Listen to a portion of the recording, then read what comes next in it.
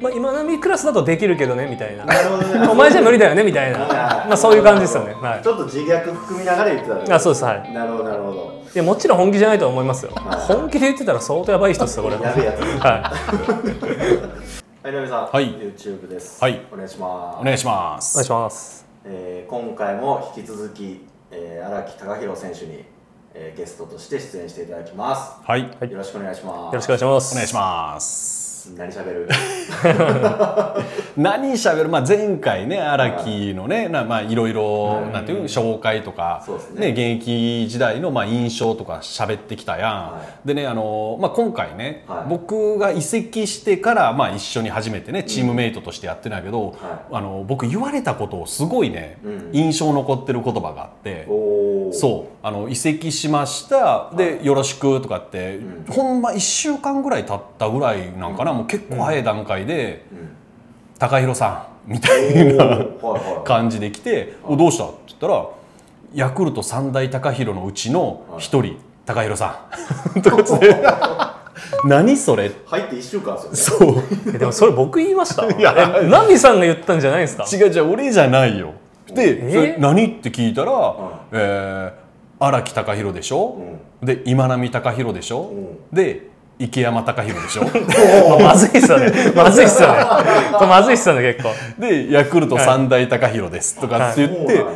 え入れてもらえるんだぐらいのうん。うん感じのことをすごい覚えてて。じゃあ今ここに、うん。ヤクルト三大高弘のうちの2人が今言ってる すごいとこにいる俺。そういうことやねえんだからあのさ、今日ねこれ収録しますっつってガチャってねあのドアから入ってきて、で結構早い段階で「うん。あ三大貴弘の貴弘さん」って 言ってたもん。いやなんか僕の中でそれナミさんが言ったイメージめっちゃあるんですけど。ええいやそれでなんか、まあ、僕の中ですごい残ってて。ー、はまあ三大高弘のうち一人は、はまあ、知らないと思うんですけどゆ こう言ってることを。絶対に。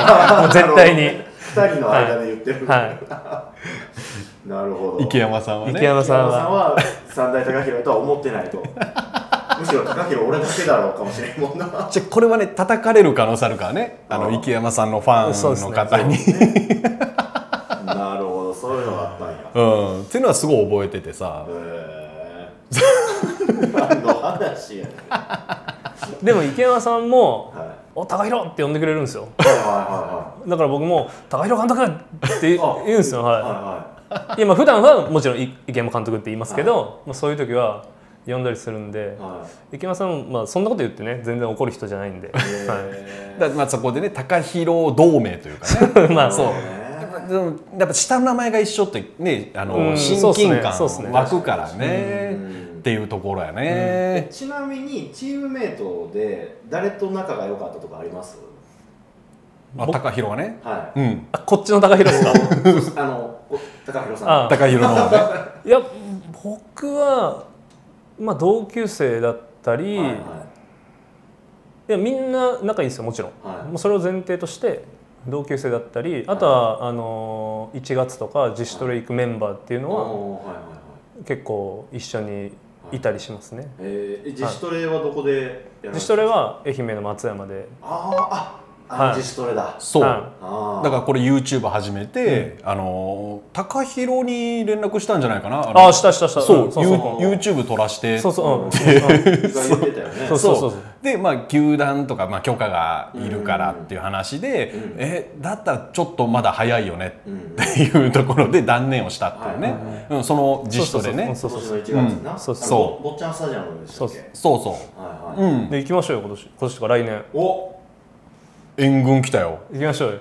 行行こうや。こうよ。いや僕があの本当にあのまあいつもねお世話になってたんで、まあ、その恩返しじゃないですけどやっぱり、はいはいはまあ、手伝いに行きたいなと思ってるんで僕は、だから一緒に行きましょうよ。行こうよ、その。どうする？YouTube で恩返しする？いいですよいいですよ。いや僕は全然あのお手伝いしますけどあの許可は取ってもらって。いはいはい。はい。はえー、行こうよ。いや確かにね、はめっちゃいい。え僕も行っていいんですよねいいやもちろんです。えー、やった。絶対楽しいからね。えー、そうかそうか、えうん。誰がメンバー参加されてるんでしたっけ？えっ、と川端。川端慎吾さん、うん。はい。山田、うん。あ山田選手。うん中村。うん。中村選手。山崎、うん。内山。は古賀。うん。あと他球団の選手とかもいうん。いたりとか、へー。そう結構ああと竹岡。ああ竹岡選手ね。だから結構。これ誰か忘れてるとやばいな、うんそういうことね。うん。うん。だって宮本さんあそうです。もともともともとはそうですよね。宮本さんから、はい。あそのあれなんだ、うん。自主トレなんだ。でも多分もっと言うとそれこそ池山さんとかあ真中さんとかそういう。ええそうだそうだ。多そのれ分池山うんさん一番先かな、歴代続いてる自主トレやもんなそうですはいうん。そう結構歴史ある自主トレだ、へえだからそこでも、うん、三大高弘から受け継いで そうそうそう。かそうかそう。そう池山さんから。いやそうそう。もう本当にもその系譜なんだ。ういやもううそんなことは言えないですけど、その系譜やね、なるほどな、はい。えーめっちゃいいですね。行きたいですね、うん。なるほど、めちゃくちゃためになる練習もしてると思うんでえそれこそ本当に回りますよ。回る？回ります回る？回ります。ちょっと行きましょう。回りますうん行きましょーえっとちょっと話変えていいですか、はあのー今波クラスっていうキーワードがありまして、はい。はい。このチャンネルの中で、はい。まあその要するに今波クラスのプロ野球選手っていうまあ言い方で使ってるんですよ。であのーこの YouTube の中でですねコメントではい「あの荒木選手は今波クラスですか?」というコメントをいただいたんです。でそこで、えー、と 今波クラスかどうかの検証をしたことが過去にありまして、はいはいはいはでこれ実はですね、はい。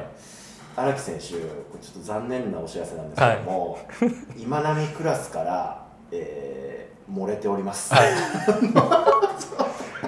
ちなみに今波クラスは知ってるよね、い知ってるっす。あもう常常々言ってたんで。はプロの時から。い言ってました。あのまあ言い方悪いですけどあのマウント取るときに言ってました マウント今波クラスっていうキーワードでマウント取りに来てたんですか、そうです。今のクラス。はい。どういうことそれ？どうやってマウント取んのそれ？まあまあ、うん。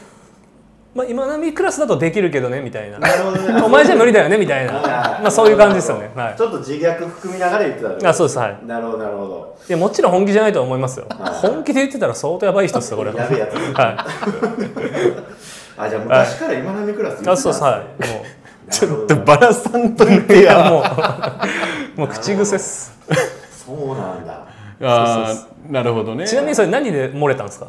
えっとあーちょっとこれやっぱ知りたいんやね。やっぱそうやな。いやそれはそれはそこまで言われたら。知りたいえっか、と、今波クラスって何なんだと、うん。っていうのがあってその定義を決めようってなったんですよ、であの5つ定義がございまして1つ目が、えっと、NPB 在籍10年以上。うんで2つ目が出場試合数うん1軍でうんが400試合以上、うん。で3つ目が通算打率うん。2割5分以上。うんここです。なるほどなるほど。で4つ目が、えー、とユーティリティプレイヤー。3ポジション以上かな、うん。のユーティリティプレイヤー、うん。で5つ目が最高年俸3000万以上うん。だったんです。よなるほどなるほで、えー、と2割5分以上のところでどなるほどなるほど。落選と、ああなるほどなるほど。そうっていうのもねあの今波クラスってワードを視聴者さんというかねあの、うんうん。すごくあのなんていうの気に入っていただいたというかでその定義を決めようっていう時になるほどなるほど。そうあのなるほど。ねなんていうかなあの僕はだから俺はうん。守る人って思ってる方が結構いらっしゃって守備の人だっていう。だからそこをいや明確に打つ人ですよってしましょうみたいな。なるほどなるほど。そう。ことからまあその打率とかを作ったんやけど残念でした。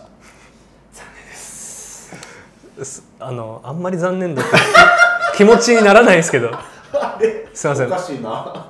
すいません。別に何とも思わないんですけど。あれ？あれ？あれ？いや視聴者の方は、はい。しあのショックを受けてらっしゃる方結構いらっしゃったよ。いやいやいや全然受けないです。あれ？あれ？おかしい受けないです。ななんとか入れてくれないですかっていう感じ。と思ったんやけどな。いやいやいやいやまあそううーん。思わないですね。おかしいな。思わないな。まあ確かにその2割5分以上そこ漏れましたけど、はい。あとはまあクリアしてるじゃないですか、ね。でも、まあ、年数もは14年。ナミさんより荒木さん14年。大卒で14年やられてナミさんがえ11年です。大卒。3年越してる。そうですね。で試合数も多え分っ、と今波さんが四405 405試合。多分200試合ぐらい越してるでしょ。400以上出てますね。で何でしたっけもう一えっとポジション3ポジション。ポジションでしょ？は僕はキャッチャーとピッチャーが全部守ってるんでおー6個守ってるし。荒木クラスか？あれ？と荒木クラス？荒木クラス誕生いやいやかでもそれはそれで恥ずかしいんで荒木クラス爆誕ですか？別にそんな別に誇れることじゃないんでちょっとうちの今波荒木クラスに入れてあげてもらえないですか いやいや。いや全然全然です。そうか。荒木クラスが誕生しまいしたね。やいやいやいやいや。いやそれなんかもう嫌なんですよ。こそれはそれで。さっきのその動画を出した時も、はい。自分に都合良すぎる条件作んなって怒られてたんですよ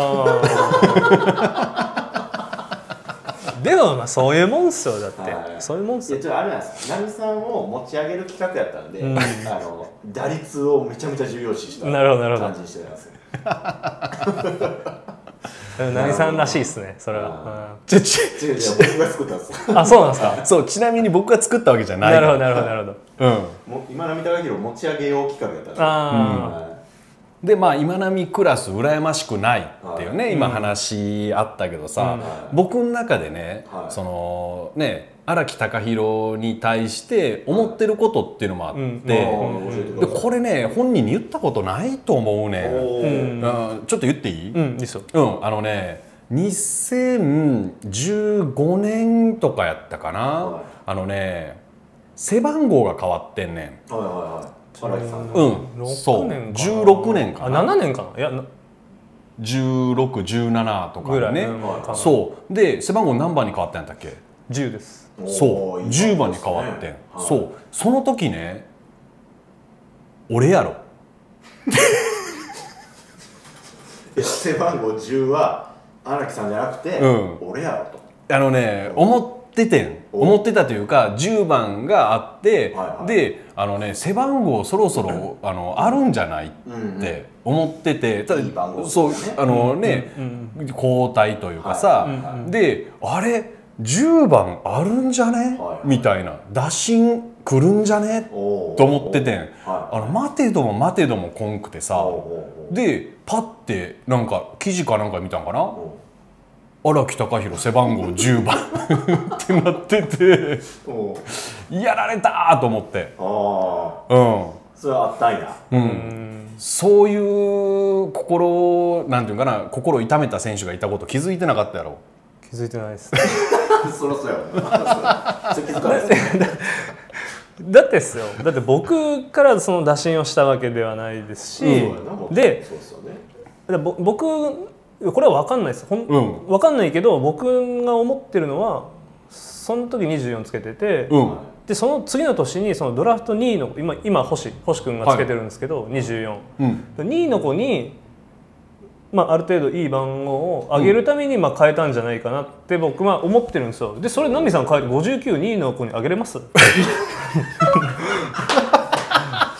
や謙虚な人やないやいやいや。いや俺や。ろ確かにね。いやでしょ？確かにね、うん、ドラフト2位の選手に59渡せないね。でしょ？渡せないね。うってって思ってるんですよ僕は。んなるほど、はい。なるほどな。大人そう。24番もすごいいい数字よ。そうやなそうそっからいやだ10番。うん。かっこよかった。かっこ よかった。うん。荒木貴弘の10番かっこだからだよかったよ。から僕が10っていうよりそのまあどの番号を上げるかっていうので変わったのかなって僕は思ってるんですよ。なるほ大ど人。大人やできねた人そら10番もらうわ。いやいや分からないですよその経緯は。ずーっとキャプテン C ねそうや。キャプテンやからさ。全くないんですよだかそういうとこないんです。よ そういうとこがあるから14年やれるの。あそうか。あだからキャプテン番号の10番なんだ。あーなるほど。10番って言ったらキャプテンやうん。あー。そう今波ねキャプテン器じゃないんだわ。なるほどね。それはあったんだ。うん。ね。なるほどね。いや初めてなんかこうありがと何の？いやいや。いやいやいやいや。あありがとうございます。うはい。えー、かりました。いやちょっとじゃあ最後に、うん。なんか今後の抱負とかね、うん。本当14年間お疲れ様でしたっていう感じですから。そうやね。ね。なんかこう言いたいことまあ世の中でもいいし。よ何でもいいし。まあ伝えたいことがあれば。いやー伝えたいことですか？はあ、まあ、今日初めて今波さんのこの YouTube 出させていただいていあの今波さんのいつも動画見てる皆さんありがとうございました。でまあどういう方が見てるかわからないですけどえっ、とまあ14年間たくさんの応援ありがとうございました。で本当にまあ僕次のことももう今の段階では何も決まってないんで本当今日こういうふうに出させてもらってまあ今波さんにもこれからいろいろアドバイスもらってまあ人生の先輩なんででまた社会の先輩としてもうたくさんアドバイスもらってまた YouTube に呼んでもらってその時にはもうあのいい報告できるようにしたいと思ってます。だからまあまたよろしくお願いします。ありがとうございます。もうなんか素晴らしいね。いやいやいや素晴らしいね。もう本当に今思ってることをうん。言っただけなんで、オッケーじゃあ今ちょうど昼時なんでちょっとこれからねご飯しながらまた話しましょう。はいということで、はい。はい。あ本日は。ねありがとうございました。ありがとうございました。ありがとうございました。はい。ということで、えー今回の動画は以上となります、はい。ご視聴ありがとうございました。ありがとうございます